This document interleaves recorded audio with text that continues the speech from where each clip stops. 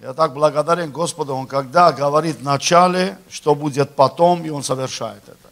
В это суть Слова Божие, когда Господь Бог говорит в нас и через нас, оно приходит время, это совершается. Поэтому, если ты первый раз здесь или много раз ты слышал много обещаний Господа Бога, она скоро совершится в твоей жизни, только имей немножко терпения, исполняй волю Отца, Бога нашего, и обетование ты получишь во имя Господа Иисуса Христа.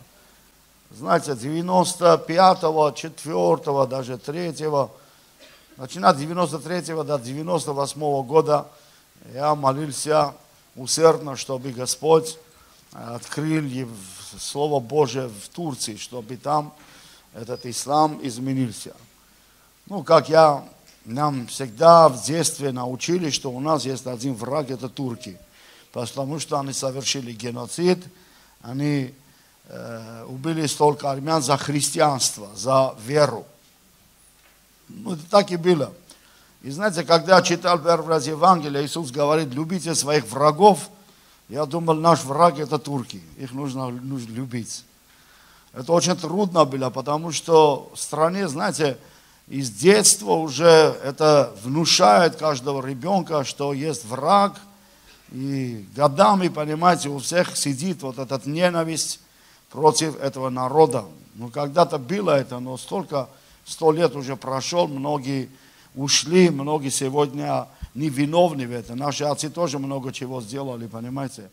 А сам Господь Бог в своем слове говорит – больше этого не будет говориться даже в Израиле. Знаете, в Израиле раньше было, отцы ели, а скрижало зубы детей. То есть дети отвечали за вину отцов. Всегда это так было. Как первый Адам согрешил, и все жители земли, все за это попали в проклятие. Это как родословное проклятие пошел за одного человека – и Иван, Библия так тоже и нам учит, понимаете. Но Господь Бог, Он сказал, я буду такие вещи совершить на лице земли, что больше такого не будут говорить, что за вину отцов дети будут платить. Но Бог сказал, сделал в своем Писании, Он, он обещал, что я буду такое совершить на лице земли, чтобы за вину отцов дети не будут страдать. За вину детей отцы не будут страдать. То есть за мою вину никто не будет страдать. Это только я могу страдать. То есть, поэтому сегодня Бог сделал веру как индивидуально. И это совершилось через жертву Иисуса Христа, потому что Иисус э, вычеркнул все э, долги человечества, все грехи наши. Он говорит, я не вменил Господь Бог нам наши грехи и дает нам шанс заново жить, и каждый отвечает за собой. Поэтому вот это, что Бог совершил – это через Иисуса Христа, Он просто старое все уничтожал, и теперь говорит, кто не верит Иисуса, тот грешник. Понимаете?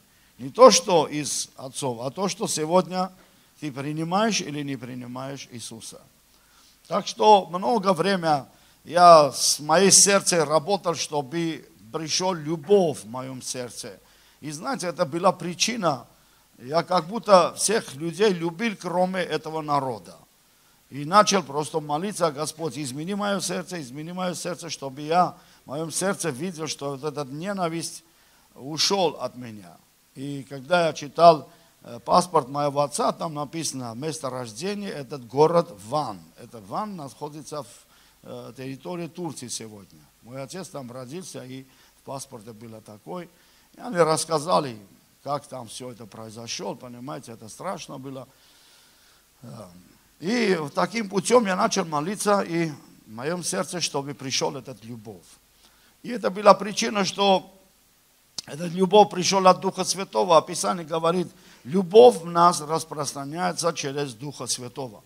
То есть без Духа Святого мы не можем иметь любви Божией, чтобы кому-то любить и простить и так далее. Я видел, что Э, много чего в жизни человека, проблема это когда человек не имеет любви, если нет любви, нет прощения, ты не можешь простить людей. А отче, молитва Отче наш там говорит, Отец, проси мои долги, как я прощаю должников моих. Значит, если я не могу простить, то, то Бог тоже мне не прощает.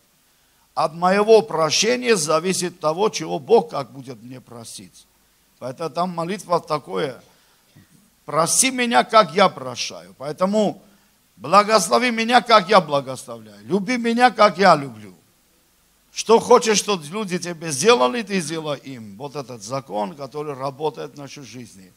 Поэтому, э, если с тобой что-то не так, значит ты с кем-то что-то не так. Все зависит от тебя. Никто не виноват в твоей жизни. Я начал молиться, и там э, открылся Новый Завет, что Бог заключил Новый Завет. Я по Ветхому Завету пытался изменить мою жизнь, сохранить кое-какие, старался любить, простить, но это не получился. Раз, два, три, когда любишь их, ты любишь, а кто тебе немножко не так, не получается это, потому что это невозможно, понимаете? Вот это невозможно – без Божьей помощи. Поэтому, когда я пытался достигнуть вот этого совершенствования, я видел это совершенный Бог, Он только, Он есть любовь, Он только может любить и своей любовью покрывать всякие грехи. Даже Писание говорит, любовь покрывает множество грехов. А один грех твою любовь не покрывает. Почему? Потому что это любовь человеческий, земной, это не божественная любовь. Когда мы имеем любовь божественную, она покрывает все. Для него нет ничего невозможного, понимаете? И я сталкивался с этим проблемами, начал молиться, и потом читал книги евреям, когда апостол Павел писал их, там много написано о Новом Завете, как это происходит. Там 8, 9, 10 глава в этих местах пишет, что Новый Завет – это который Бог заключил завет с людьми. Ветхий Завет – это Бог заключил завет с Авраамом и дал ему э, обрезание. То есть народ Божий, верующий, который познал Бога, у них был знак. Это знак было обрезание крайней плоти человека, мужского пола. И Авраам сделал это обрезание как знак праведника, как знак, что это принадлежит Богу. И через это, кто принял этот завет, они должны были сделать обрезание. И через это они отделили себя от многих народов, и они назывались Божьей народой. Но когда пришел Новый Завет, и там на Ветхом Завете, когда Бог заключил завет с людьми, с Авраамом, с его потомком, Он дал заповеди, Он дал законы, многих пророков, и они начали говорить и установили все это в законе, чтобы они могли по этому закону жить в соответствии в этом завете, чтобы Господь мог человеку помочь, исцелять и благословить и так далее. Но знаете, когда я пытался исполнять это, не получилось у меня. Пришлось бы еще обрезание сделать.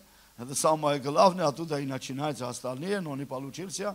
И потом я смотрю, что апостол пишет Новый Завет. Он говорит, Иисус поднял бокал, день Пасхи, когда заключил завет Господь, он просто поднял, сказал, вот это кровь мой, который Бог заключает Новый Завет с вами. Новый Завет, то есть через кровь Иисуса Христа, через жертву Иисуса Христа. Там было обрезание крайне плоть, а здесь было э, убито Сын Бога Живого. Он пролил свою кровь. И знаете, Э, и через этот кровь Бог обещал, все сделаю новое. Я буду писать законы в ваших сердцах, в ваших разумах. И знаете, я понял, что э, это когда Он будет писать, Он будет, должен менять мое сердце, вот тогда Он говорит, я новое сердце я вам дам, новый дух вам дам. И апостол Павел пишет, говорит, что истинный еврей не тот, который имеет обрезание плоти, а тот, который имеет обрезание сердца. Он говорит, что э, ни обрезанный, ни не обрезанный ничего не стоит, если нету новое сердце. Я думал, значит, мне нужно новое сердце. Я молился, Господь, дай мне новое сердце, такое сердце, которое может любить и простить и жить. И Господь это совершил, понимаете? Он изменил мое сердце и даровал мне новое сердце. Я начал любить этот народ. И не только это весь мир, я так легко было любить каждого человека. Без любви никак не можешь ты нести добрый весть. Как ты можешь людей добрый весть принести, если ты не любишь их? Знаете, многие от ненависти несут не добрый весть, а наказание. Бог вас будет наказать. Вот вам нужно покаяться. Знаете, это не добрый весть. То есть, э, есть гнев Божий на людей, которые люди грешат, и люди от ненависти начинают проповедовать тоже, что вот скоро будет суд, наказание, и гнев Божий вас будет наказать, и так далее и тому подобное. Этот Евангелие не, не рождается от любви. А поэтому любовь, она покрывает, наоборот, не смотрит грехи человека. Он просто, Иисус, когда пришел, никому не обвинял, Он всех просто исцелил подряд.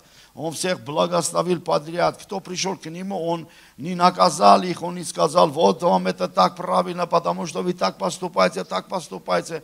Наоборот, Он поступки человека игнорировал и просто дал прощение грехов, исцелил, освободил, изгнал бесов. Вот это есть добрый весть. А это э, ты можешь человеку нести добрый весть, ты можешь нести человеку дары, подарки.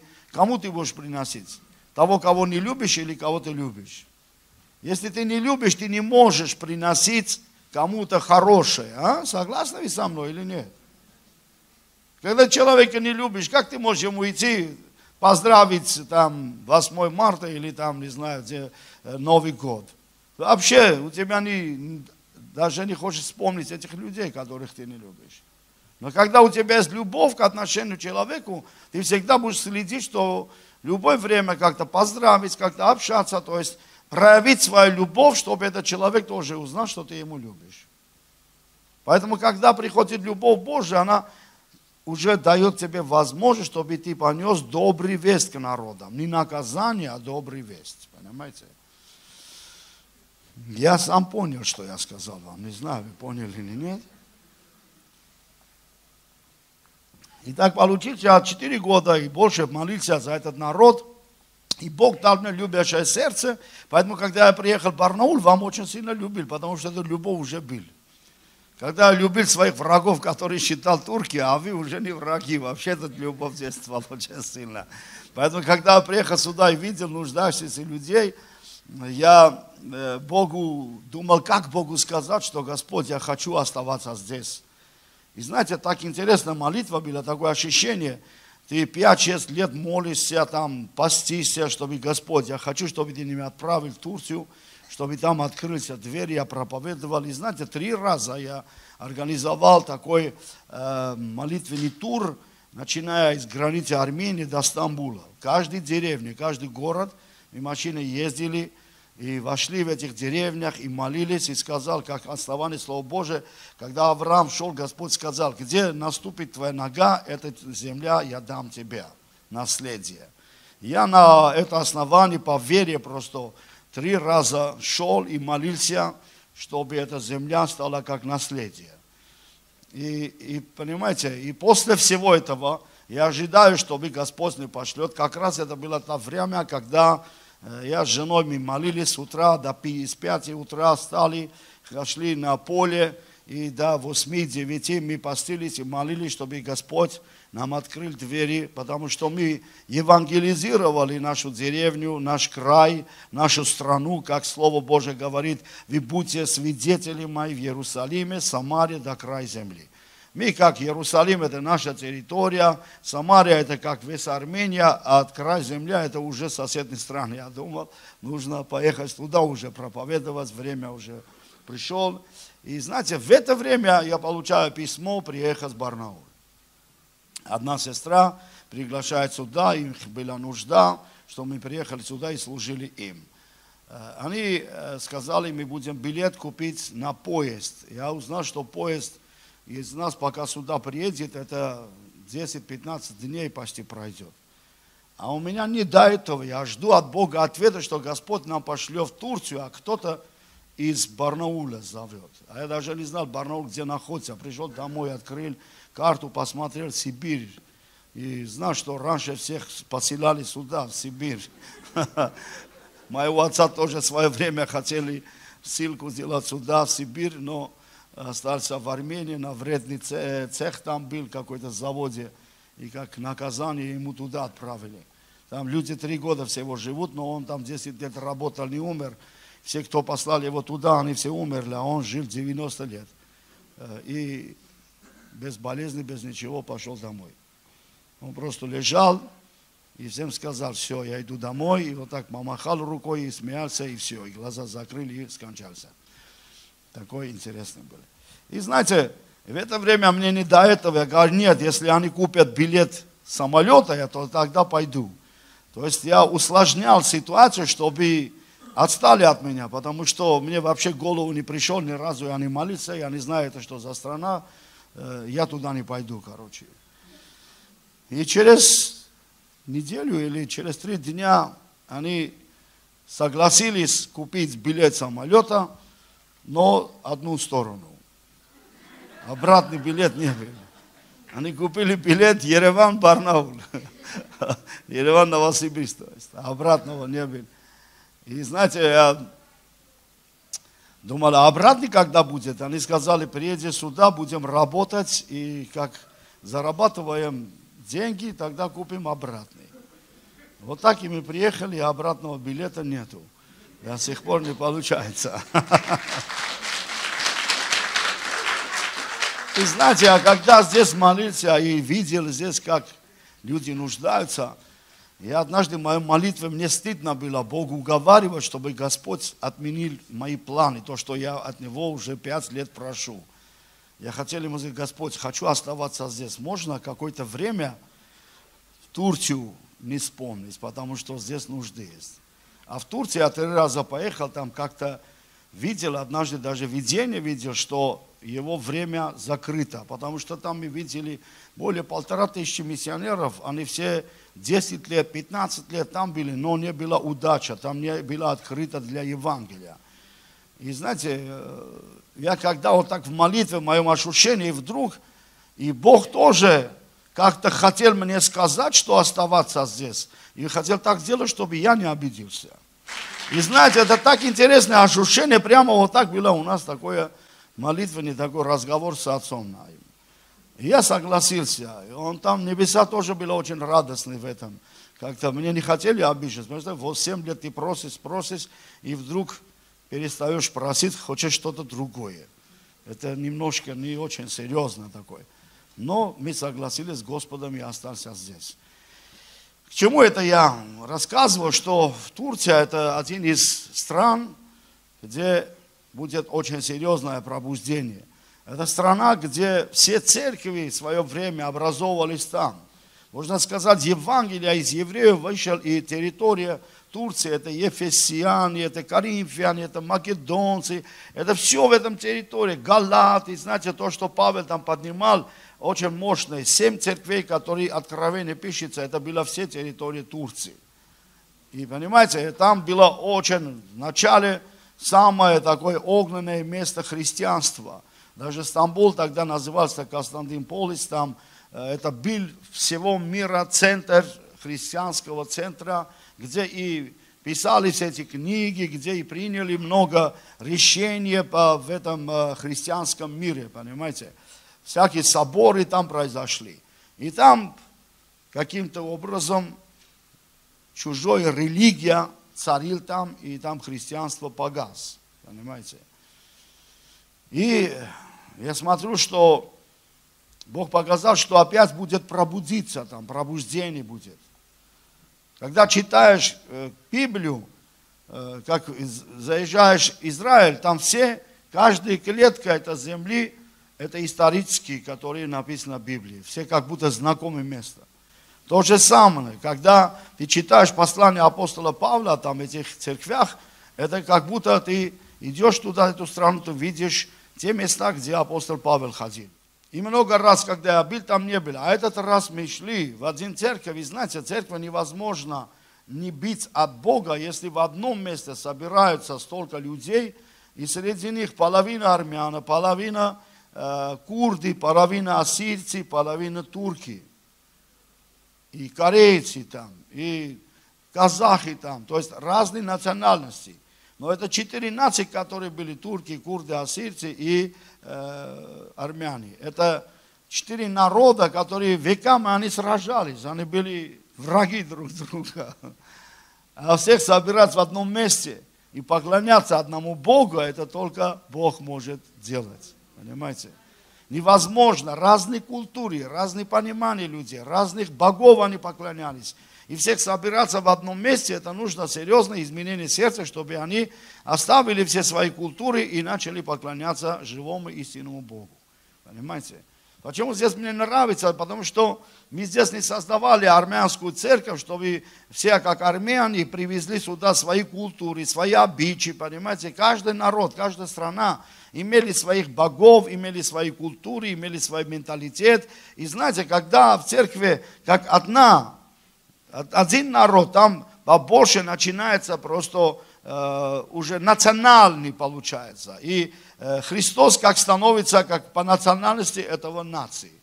Но когда многонациональное место, и все вместе любят и живут уже, это значит, что-то новое произошло там. И Дух Святой там работает, понимаете? Поэтому, слава Богу за эту церковь, там э, корейцы приехали туда, проповедовали, а потом сегодня там э, один курт пастор, его помощники тоже из разных наций, и они очень сильно любили меня и принимали, и мы пошли и служили. А этот раз они, собирал он много пасторов, и мы сделали пасторские конференции, там э, я служил их, и конкретно они это собрание сделали, чтобы я конкретно приехал туда, их проповедовал, понимаете. И это слово очень мощно, сильно коснулся им. Бог дал такое слово, как можно э, ловить людей, как можно идти и проповедовать Евангелие. Все хотят идти и читают Библию, говорят, идите по всему миру, да? И все хотят идти. Но кому Иисус сказал, идите? Он сказал своих учеников. Вместо того стать учениками, они хотят идти. Прежде чем идти, тебе нужно стать учениками Иисуса Христа. А для учеников есть конкретная там инструкция. Нужно оставить отец, мать, детей, там, жену, имение, взять свой крест, тогда Иисус сказал, ты достоин меня. Он сказал, если ты не любишь меня больше, чем своих родителей, ты не достоин меня. Если не любишь меня больше, чем своих детей, ты не достоин меня.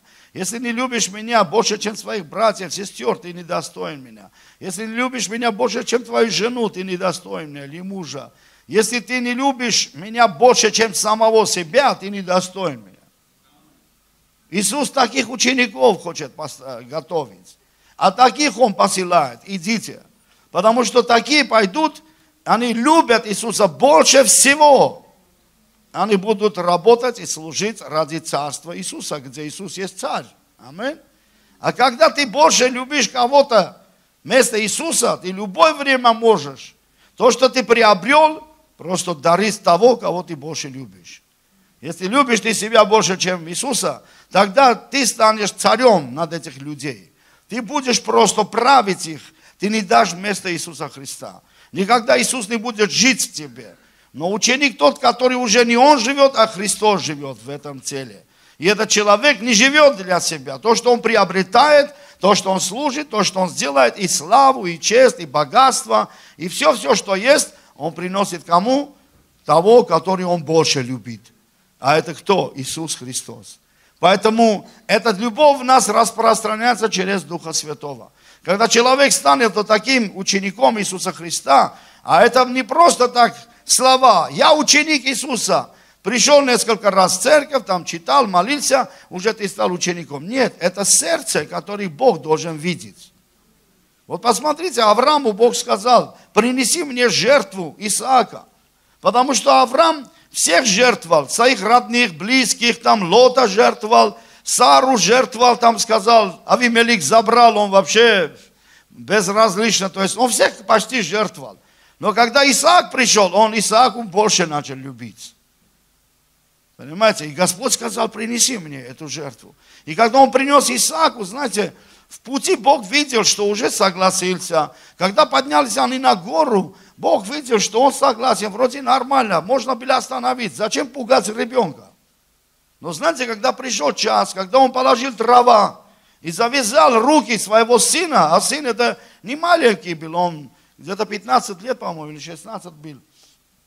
Это страшно. Ты представляешь своего сына, который уже 15 лет, он уже совершенный, понимает все. Он задавал вопросы, отец, где жертва? Он сказал, Богу смотрит. И теперь отец завязывает его и на дрова. Он хорошо понимает, что он должен быть как жертвой. Я не думаю, что в таком возрасте он будет согласиться умереть. Это невозможно. Он, может быть, там кричал, орал, плакал, папа.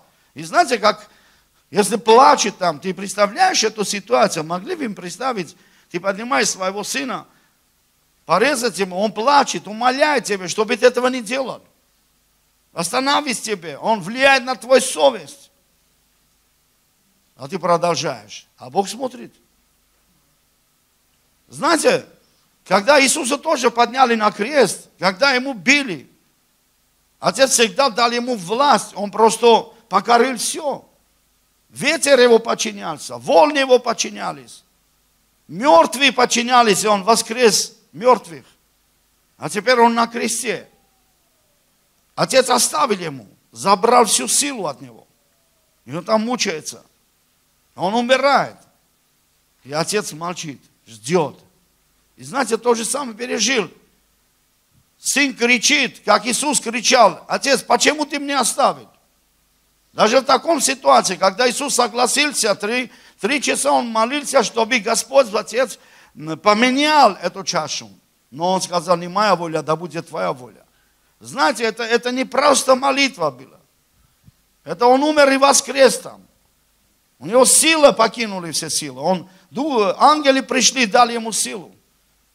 Его пот, как капли крови капали. Это, знаете, очень серьезно духовные муки были. Когда он видел, что творится с ним. И он должен просто беспомощный. А это все сила, кто дал? Дух Отца моего на меня. Значит, в это время этот дух покинет ему. И он остался без помощи. И он пережил все эти муки, он чувствовал все это. Это было очень страшно. И знаете, Бог Отец, Он посмотрел на все это и терпел. И терпел. У него сердце горело, терпел. И здесь теперь Авраам, посмотрите, он уже берет нож. Мог бы Бог чуть пораньше остановить, чтобы этот ребенок не пережил этот страх. Нет, Бог останавливает. Он говорит, давай. И Авраам последний секунд, вот-вот уже секунда остался, чтобы порезать горло, ангел останавливает. И здесь говорит, я видел твое сердце, Авраам. Знаете, Бог хочет видеть твое сердце. Невозможно, чтобы в таким путем ты был покорный, смирен и согласился со Словом Божиим. Как апостол Петр говорит, до крови сражайтесь против греха, против плотских вещей, чтобы Бог увидел ваше сердце, что вы действительно ненавидите грех, ненавидите плотское и любите Господа. И Авраам доказал, что Бог, я люблю тебя. Твое слово для меня очень дорого. Это слово, он просто показал свое сердце, я что, люблю тебя больше, чем моих родных, близких, люблю тебя больше, чем моя страна, люблю тебя больше, чем мое имение, люблю тебя больше, чем моего сына, который на сто лет я получил. И знаете, он доказал, и Бог сошел туда и сказал, Авраам, я видел твое сердце, я есть Егова Ире. Егова Ире означает, я буду спонсором все твое потомство. Я все буду спонсировать, благословить все потомство, которое будет родиться от этого Исаака. Я буду всегда с вами, вы ни в чем не будете нуждаться. Вот такое обетование Господь дал Аврааму, потому что он видел, что Авраам любит его больше, чем всего, что есть. И то же самое Иисус сказал. Нам нужно любить Христа больше. А кто Христос? Это Его Слово. Когда мы любим Слово Божие, то есть, что имел в виду Иисус, когда сказал? Ты будешь любить меня больше, чем твоих родителей. То есть, твои родители могут тебе говорить Слово, воспитание, каких-то вещей, заповедей. Но Иисус – это тоже Слово. Мы должны отвергать Слово всех и принимать Слово Божие. То есть Слово Божие должно быть для меня самым главным и авторитетом. И когда для нас Слово Божие, как самый первый, Мы можем отрицать и отвергать всякое мнение, даже мнение моего плоти, мнение моего мышления, но я буду смирить себя под Словом Божьим, неважно, куда ведет это Слово, как это Слово Иисусу сказал, давай поднимайся на крест, Аврааму сказал, иди жертвуй, знаете, это страшное Слово, но все равно, как при Израиль освободился от э, Египта, это тоже было Слово, они пришли, упирались Красного моря, сзади враг, впереди море. Это слово было. Они ходили за Словом Божьим. И теперь, пожалуйста, такой тупик. Но знаете, когда Бог что-то говорит, Он всегда видит больше и дальше. Его Слово – это вечная жизнь. Его Слово – это путь. Его Слово – это истина. Поэтому это Слово, которое освободил их от рабства, привел к Красному море, сам это Слово и открыл Красное море. Сам это слово и ввел их через пустыню. Это слово им было сказано, что я хочу вам дать хананскую землю. Я хочу, чтобы вы имели хорошую жизнь. Его слово говорит, для тебя будет хорошая жизнь. Но прежде чем мы достигнем этого хорошего, в пути есть много чего, тоже слово требует от нас. Поэтому нам нужно смириться перед Словом Божьим. И кто смиряется, это Слово дает ему благодать и благословение. Аминь. Евангелие от Иоанна, 1 глава, 1 стих. В начале было Слово, и Слово было у Бога, и Слово был Бог. Я хочу это все, просто это вошел в ваше сердце. Вот эти стихи. Начало было Слово, и Слово было у Бога, Слово был Бог. Она была в начале у Бога. Все через Него начало быть, и без Него ничего не начало быть, что начало быть. Все начинается через Слово Божие. Когда Бог что-то провозглашает и говорит, это действие – это что-то происходит, понимаете? Поэтому, когда мы молимся, просим от Господа, мы с нашей молитвой, нашей просьбой уговариваем, чтобы Бог начал говорить. Потому что как Бог скажет слово, это слово воплотится в нашей жизни. Мы поэтому, когда мы молимся, просим жизнь, просим благословение, просим что-то, Его, все в Его Слове. Поэтому по вере этого, что Господь, через Твое Слово должно совершиться в моей жизни. Если какая-то болезнь, Бог должен говорить Слово на эту болезнь, и эта болезнь исчезнет. Сотник убил болен его раб. Он сказал, Иисус, скажи одно слово, потому что подо мной есть многие подчиненные. Когда им говорю слово, идите, они идут. Приходите, приходят. То есть они подчиняются моего слова, которое я говорю, потому что я сотник, а они мои рабы. И они подчиняются мне. Теперь он говорит, Иисус, ты царь. Твое слово имеет власть над болезнями, над проклятиями. Ты имеешь власть, когда ты скажешь слово этому болезни, который живет моего раба. У меня нету власти, у меня есть власть над моего раба, но у меня нету власть над этого болезни. Знаете, цари, Президенты всякие, они имеют власть над нашей плотью, они могут нам наказать, судить, штрафовать и так далее, понимаете? Но они не имеют власть той болезни, которая в нашем сердце и бывает иногда в нашей жизни. Они не имеют власть над тот грехом, который есть в нас. Они не имеют власть над теми бесами, которые в нас. Этих злых и нечистых духов. Но над этим Иисус имеет власть, потому что Он сказал, Бог помазал меня и дал мне власть. Аллилуйя. И этот власть, и он сказал, скажи одно слово на эту болезнь. Это была молитва. Скажи одно слово. То есть это была вера, что ты он верил, что если Бог скажет одно слово, это слово исцелит его раба. Сегодня наше время, как работает вера? Молиться и верить. Бог сегодня может сказать слово. Через кого-то он может сказать. Через Духа Святого он может взять своего раба и говорить слово на твою проблему. Когда звучит это слово, это слово исцеляет. Как по вере твоей. То есть по вере твоей придет. Поэтому апостол Павел учит говорить, без Богу, без веры угождать невозможно. Нам нужно верить, что Он есть, и Он может говорить. И когда Он говорит, совершится. Поэтому без Его слова ничего не было, что было. И когда и сегодня тоже ничего не произойдет в нашей жизни, если Он не сказал и не скажет сейчас. Аллилуйя. Поэтому послал Духа Святого в нас, чтобы Дух Святой всегда прозвучил Слово сегодня, что нам нужно. И когда мы молимся, и в Духом молимся, ходатайствует Дух Святой, Он знает нужды в наше сердце. И говорит это Отцу. И оттуда Отец дает ему Слово. И это Слово Дух Святой прозвучит в ушах твоих. И когда ты слышишь это Слово, и слышит это Слово, твоя нужда тоже, она исчезает из твоей жизни. Ты даже не знаешь, какие проблемы есть у тебя, но просто ты молишься, кто крещен Духом Святым, он молится языками. И говорит, и Дух Святой знает, что тебе нужно. Он передает Отцу. От Отца берет Слово и передает тебе.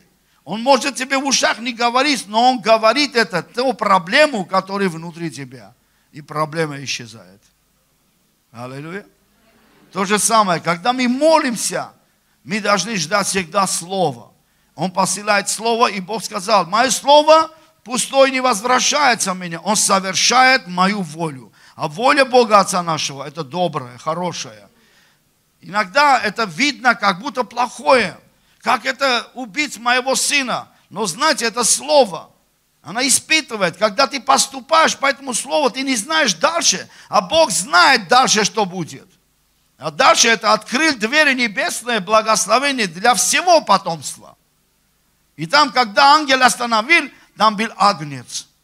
Там был агнец. Всегда узнай, есть агнец Божий, который всегда, он заступает те время, когда ты должен лишиться от чего-то, и является агнец, который берет на себя всякая боль, всякая смерть и освобождает тебя от, тебя от наказания.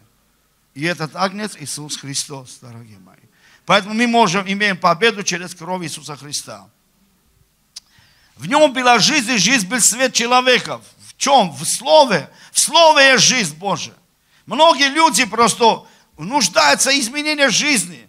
Как будто это дерево ты вырвали из земли, начали листья побледнеть, там э, умирает дерево, ты питаешься каким-то другим образом восстановить жизнь дерева. Его другой образ нет, его нужно насаждать землю. Иногда поздно ты насаждаешь, уже не восстанавливается. То же самое проблема в человеке, жизни, что человек лишен от Слова Божия. Когда нет отношения от Слова Божия, отношения человека с Богом, у него всякое худое может произойти. Но когда уже ты питаешься, как Иисус сказал, я виноградная лоза, а вы ветки. Ветки сам себе не могут приносить плод. Но когда ты в лозе, от лозы ты питаешься, и твои ветки приносят плод хороший. И Отец увидит это, еще больше будет орошать тебе, чтобы больше ты принес плодов. Аминь. Поэтому э, мы питаемся от Бога. Когда мы питаемся Его Словом, Он оживляет. Его Слово есть дух и жизнь. Она, его Слово имеет власть на всех вещей, которые мы не имеем власть. Кто Бог? Когда мы говорим Бог, э, понимание людей, название Бог, это означает всемогущий. То, что человеком невозможно, Богом возможно. У воображения человека слово Бог, я не говорю того Бога, которым мы молимся, вообще Бог. Слово Бог. У людей мышление это слово Бог, это Бог всемогущий. Он сильный. То есть то, что человек не может делать, Бог может делать. Поэтому люди создавали разных богов своих. Создали и называли это Бог – если будем исполнять Его желание, Он будет исполнить того, чего мы не можем делать. Но иногда не получается. Иногда у людей остается нужда, проблемы в их жизни. Значит, этот Бог не работает. Но когда есть живой истинный Бог, Он посылает Слово. Его Слово что делает? Воплощается. Те, которые приняли Его верующие во имя Его, дал власть бесчадами Божьими которые не от крови, не от хотения плоти, не от хотения мужа, но от Бога родились. И Слово стал плотью. Вот мне самое главное, хочу, чтобы ты это видел. Слово стал плотью и обитало с нами. Полная благодати истины. И мы видели славу Его. Славу как единородного от Отца. Аминь. То есть, когда Бог посылает Слово, это Слово не пустое не возвращается. Он творит что-то. Для чего Он послан? Если Он послан уничтожать грех твоей жизни, значит, ты увидишь, что этого греха больше не будет в твоей жизни. Если Он приходит, чтобы изгнать этих бесов, которые мучают тебя, больше их не увидишь, они уйдут. Если это слово был послан для того, чтобы ты исцелился, болезнь исчезнет от тебя, больше ты не увидишь его. Потому что это слово был послан именно этого. Если в твоей жизни нищета, долги, проблемы, и ты молился, и Бог послал слово для этого, значит, эту проблему исчезнет. Его слово – сила и действенно. Это как обоюдоострый меч. Она пронзает, она входит. И Его Слово сотворен небо и землю. Через Его Слово это совершается. Поэтому в ветхое время, когда люди были пророки, они имели Слово в своих устах. Когда Бог благословляет тебя и дает Слово в твоих устах, в твоем разуме, в твоем сердце, знаете, это Бог уже обитает внутри тебя. Бог в твоих устах. То есть это Слово, сотворившее небо и землю. Это Слово, имеющее внутри себя силу. Любое место он может работать и действовать, когда есть слово в твоих устах. Это живо и действенно. Это Бог всемогущий, ходящий, который творит и продолжает и сегодня творить. Поэтому вера, христианство, что это означает? Это Слово Божье среди людей. Это Эммануэль, как Бог с нами. Как Бог с нами? Он открыл небеса, и Он посылает Слово в нашей жизни. Он посылает Слово в наших проблемах. За кого? За нашу веру.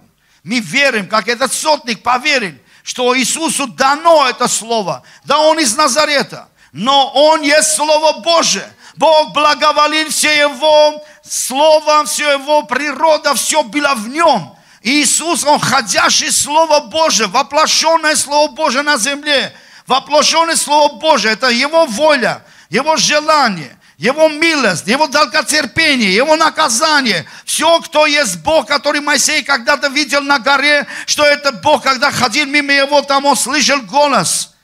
Милостив, долготерплив, любящий. Он грех наказует, наказует грех, не оставляет грешника без наказания. Много милостив, долготерплив. Это его характер, это его природа. И Моисей этого видел. А Иисус, когда пришел на землю, он был ходящий вот это слово в воплощенном виде. И знаете, он совершил это. Он явил милость Отца. Лежал человек, ей 38 лет расслаблен. Иисус пришел к нему, говорит, грехи твои прощаются, возьми твой постель, иди домой. Он высвобождает слово, это была воля Божия к отношению этому человеку. То есть это милость Божия. Ты не достоин этого исцеления. Ты должен наказуем. Уже 38 лет лежишь. Но милость Божия достиг тебя. Ты исцелен, встань и пойди домой. И знаете, это воплощенное Слово Божие. Возмездие за греха смерть. И когда он пошел на крест, это тоже милость Божия. Это тоже Слово Божие воплотится, что Бог сказал, грешник должен умереть. Нету ни одного прощение. Грешник должен быть наказуем. Поэтому Иисус был наказуем за всего мира. Это тоже совершилось, это тоже воплотился, что Бог такой. Он не оставил, хотя его сын стоял вместо нас в этот суд. Все равно Бог не пощадил и не поменял свой план. Его слово не меняется. Какой его характер? Он сказал, все, грешник должен быть наказуем. И это наказание смерть. И когда его сын стал как грешником вместо нас, Бог не сказал, ну ладно, это мой сын. Мой сын, давай лучше по-другому сделаем. Планы поменяются. Это не менял характер отца. Это не менял его характер. Какого был он был. Неважно, если это мой сын грешник, значит он должен нести наказание. Это его закон, это его природа. И поэтому он Иисуса наказал изливался на Иисуса вся наказание. Это было наше наказание. Поэтому, когда мы стоим перед крестом, мы видим, что мы были достойны этого смерти. Но когда Иисус взял на себя, это милость Божия, что Он нам освободил, и еще природа Иисуса, грешник должен быть наказуем. И этот грешник был Иисус. Ему наказал Отец. И когда мы стоим перед этим крестом, мы должны осознать, что это не, не его место. Это наше место. Это мы заслужили. Это мы должны были быть. Как знаете, про левой стороне грешник, этот разбойник, кричал, если ты сын Божий, спускайся и нам тоже. Он не признал свою вину. Он обвинял даже Иисуса. Потому что Иисуса обвиняли, все кричали, если ты сын Божий, если ты сын Божий. Он тоже обвинял Иисуса. А правой стороне разбойник что сказал? Он сказал, слушай, мы заслужили эту смерть. Мы достойны этого наказания. Но этот человек, этот праведник, что он сделал? И он обратился к Иисусу и сказал, да, я достоин этой смерти. Я не хочу оправдаться. Я не хочу спускаться от креста. Я признаю мою вину, я достоин этого. Но ты за что?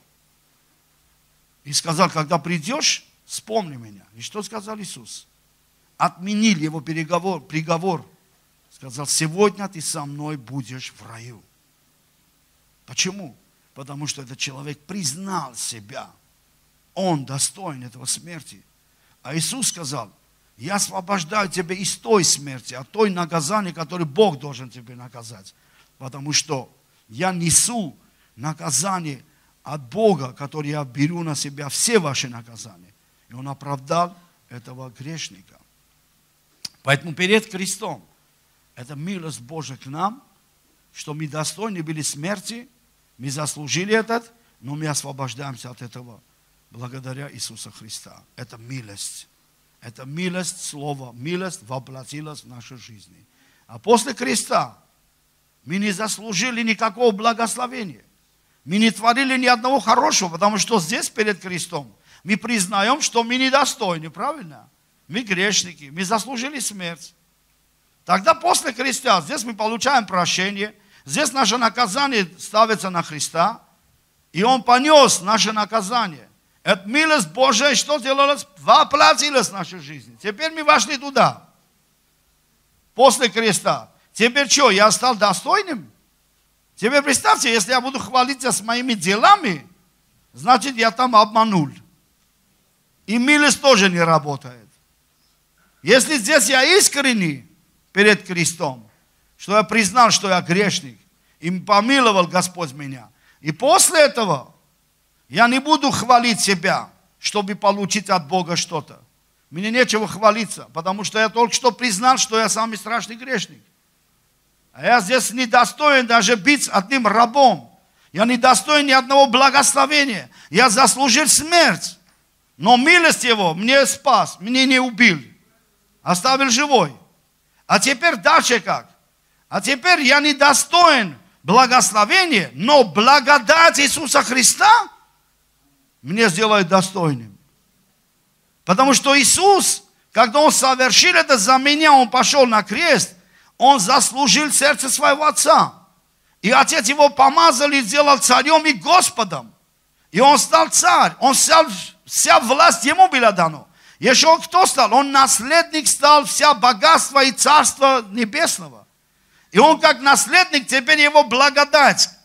Через его я вхожу, под благодать его я становлюсь наследником Царства Небесного.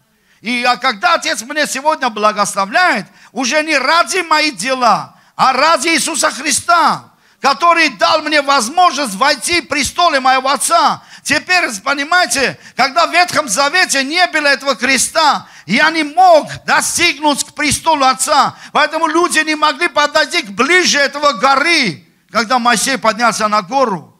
Они все могли умереть. А теперь через Христа, представьте, мы получаем милость Божию, заходим туда, Царство Небесное, Святое Святилище. У нас уже есть дерзновение без проблем к престолу Отца. Но не через наши деяния, а через благодать Иисуса Христа. Иисус открыл путь да на небесах. И мы имеем сегодня дерзновение. Он очистил нашу совесть. Он даровал нам новое сердце. И теперь мы можем Отцу сказать, Отец, благослови меня во имя Иисуса. Во имя Иисуса. Во имя Иисуса я достоин достоин получить. Это достоинство, это во имя Иисуса. Это достоинство, это Иисус. Это Он по, по, перед Отцом нашел честь и благословение, и богатство, и слава. И Он говорит, верующий в Меня, чтущий Меня, я буду чтить. Прославляющий Меня к народам, я их буду прославить. Я изолю мой дух на каждый плоть. Они будут наполняться моим словом. Я дам мое слово их устах. Я буду их Богом, они будут моим народом.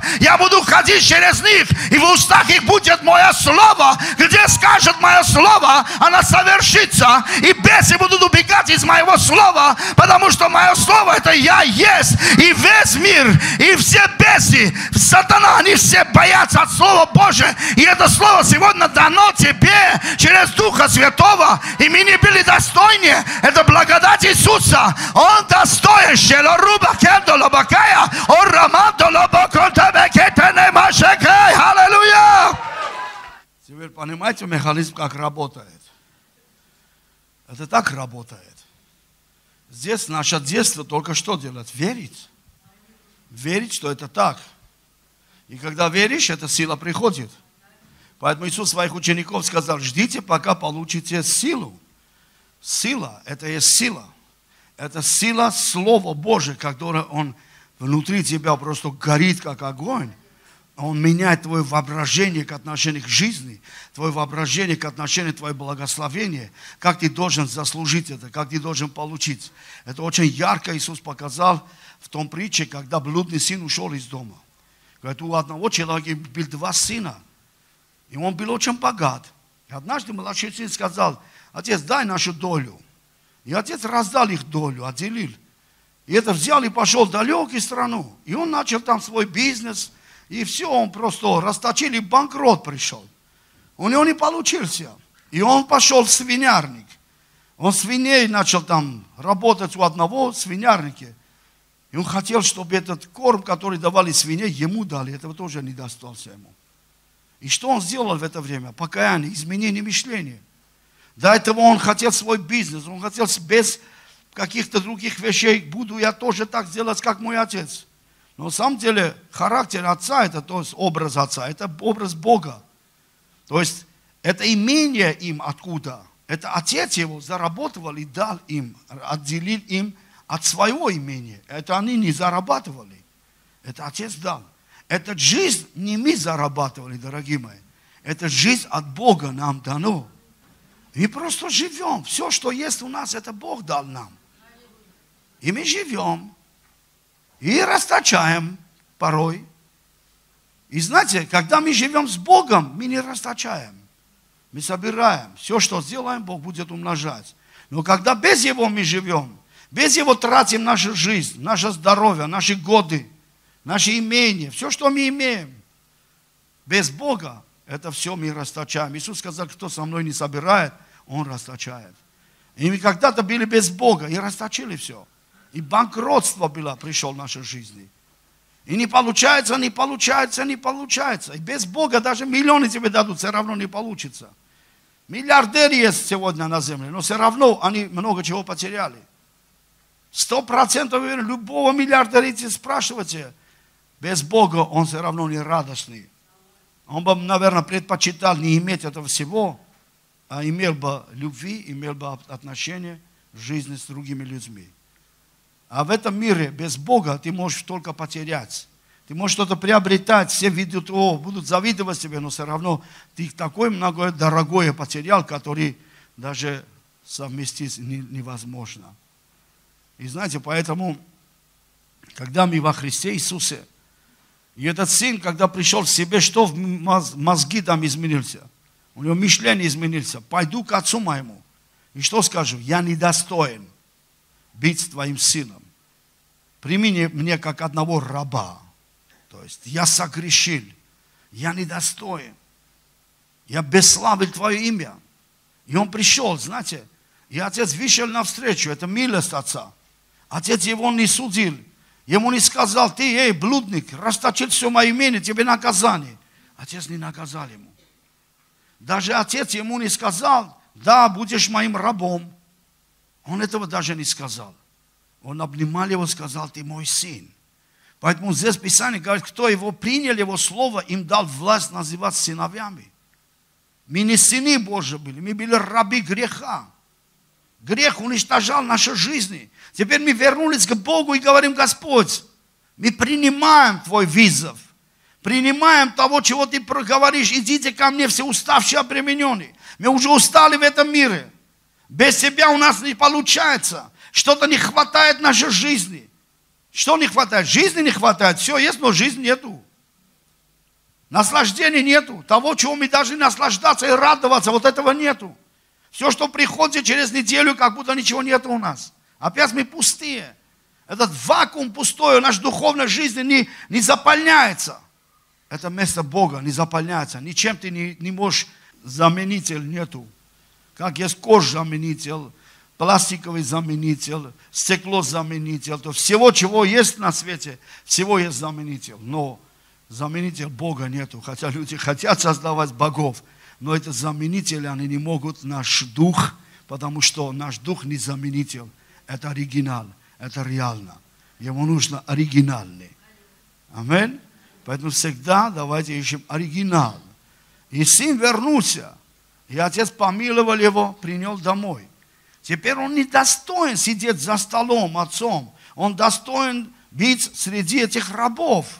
Но так как уже не он решает, а любовь отца, милость отца и благодать, дар Божий, что он не вменил ему грех, не обвинял своего сына, потому что он признал его как сына. И он как сын должен сидеть за столом за своим отцом. И отец ему дал новую одежду. Перстень это как власть. И обувь на ногах, что ты в моем доме имеешь везде ходить. Это все мое твое. Из упитанного теленка. И знаете, начали веселиться и радоваться потому что этот сын мертв, теперь стал живой. То есть он был мертв, он был потерян, но он был потерян, но он не потерял свое сыновство. Он был мертв. Мертвым быть это не означает, ты уже потерял свое сыновство. Знаете, самое страшное потерять сыновство. Что уже отец сказывает тебе, я тебя не знаю. Но пока отец знает тебя, как ты сын его, как ты его родной, но твое мертвое состояние, твое греховное состояние, это еще тебе не отнимает того, что ты сын Бога живого. Понимаете, сыновство восстанавливается. И отец восстанавливает это. И он не сказал, ты мой раб, он говорит, ты мой сын. Поэтому говорит, кто принял слово Отца, послание через Христа, их Отец дал власть называть себя детьми Божьими. Я сын Бога живого. И знаете, а домашний сын был там, когда он в доме отца был вроде. И он пришел, говорит, столько я работал. Ты мне не дал ни одного козленка. То есть он говорил отцу, что ты не доценил меня. Ты не доценил мою работу, мое детство, мое послушание. Я заслужил этого. Я достоин этого. Хотя бы козленка я достоин. И понимаете, отец удивлен, говорит, все мое твое. Почему ты так думаешь? Почему ты отделяешь тебя от меня? И знаете, он через свое достоинство хотел хотя бы одного козленка получить, но у него не было дерзновения взять, потому что у него сердце сыновство мертвый был. Посмотрите, разница. Тот, кто в доме был, он, его вера не была, он не сохранил сыновство. Он не признал, что ты мой отец, я твой сын. Хотя он был рядом, но у него умер сыновство. У него умер познание, что это мой отец, все, что его, это мое. Вы слышите или нет? А тот, который был в свинярнике, он еще не забыл, что он сын. Он там говорит, пойду скажу, я не достоин быть твоим сыном. Но он до этого, он уже признал все равно в своем сердце, он был сын этого отца. Он физически был далеко, но в сердце его он не был далеко. В сердце он был всегда признал, что он его отец. И тогда, когда он уже признал свою вину, он тогда принял решение, скажу, что я не достоин быть твоим сыном. Сделай мне как одного раба. И знаете, он таким путем пришел. Но когда пришел похоронить сыновство, отец не дал похоронить сыновство. Потому что Отец Всемогущий, Он родил не для того, чтобы похоронить, Он родил, чтобы они имели жизнь вечную. Наш Отец Небесный не родил нас, чтобы нам похоронить. Когда человек похороняет свое сыновство, он не верит Бога, что он сын Бога живого. Он уже похоронил свое сыновство. Он уже судил себя, он себя отделил от Бога. Но когда ты веришь, что Бог твой Отец, хотя ты находишься в каком-то свинярнике, но сохрани свое сердце, что у тебя есть Бог Отец. Ты считаешь, что ты не достоин прийти к Нему, но все равно не потерял это сыновство. Приди к Богу. Он любит тебя. Он принимает тебя. Поэтому Он жертвовал своего Сына. Осветить наш разум и сказать, вы все мои дети, вы все мои сыновья и дочери. Я вас принимаю, потому что вы приняли моего Сына. Вы такой же, как Он он. Поэтому Иисус сказал, если вы были дети Авраама, вы меня приняли, но вы теперь меня хотите убить, потому что ваш отец дьявол. Но те, которые приняли его, они дети Авраама. Поэтому ты принял Иисуса, ты сын Авраама, ты сын Бога живого. Его слово имеет место в твоем сердце. Он любит тебя, он принимает тебя, он будет благословить твою жизнь. Просто войти в его царство, войти внутрь его, не своими делами, а что Он как Отец по своей милости, по своей любви, по своей благодати Он наполнит твою жизнь всякими благословениями, богатствами, славой своей. Аллилуйя! Давай стань и слав Господа. Аллилуйя, аллилуйя, аллилуйя. Знаете, не приходи к Богу как чужой, чтобы от Бога получить что-то. Приходи сейчас к Богу как сын. Поднимаешь твои руки, посмотри на Бога, как ты его сын как новорожденный человек. Посмотри на него. Может быть, ты недостоин чего-то, твой совесть тебя обличает, но он твой отец.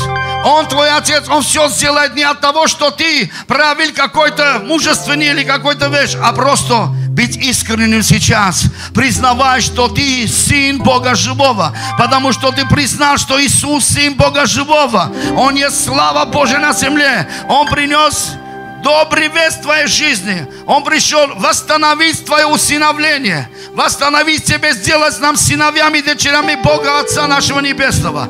И Отец Небесный, прямо сейчас мы поднимаем наши руки к Тебе, Отец, и благодарим в наших сердцах за милость и любовь Твою, за истину Твою, Господь, что когда-то мы были чужие, мы не знали, Господь, но Ты послал свое Слово в наших сердцах, и мы признали Твое Слово, что Твое Слово это и есть Ты, ты, Господь Бог, и Ты даешь нам власть называть себя детьми Твоим, Господь. И теперь мы не чужие. Ты послал своего Духа, наш Дух. И этот Дух свидетельствует моему Духу, что я Твой Сын. Я больше не чужой. Ты мой Отец Небесный. Пусть вся изольется вся благословение небесное на нашей жизни. Пусть изольется вся богатство благословения нашей жизни, Господь. И мы говорим дьяволу, дьявол, отдай назад то, что ты обкрадывал нас верни все наши благословения, отдай назад наше здоровье, наши финансы, наше богатство, которое дано нам от нашего Отца Небесного, который изначально сотворил небо и землю для благословения и наслаждения моей жизни. И сейчас я провозглашаю устанавливаю и говорю, вор, верни назад именем Иисуса, именем Иисуса, именем Иисуса, именем Иисуса. Аллилуйя. Hallelujah, hallelujah, praise the Lord. Hallelujah, my God bless you. О, Отец, слава Тебе во веки веков. Come blessing to hear right. Hallelujah.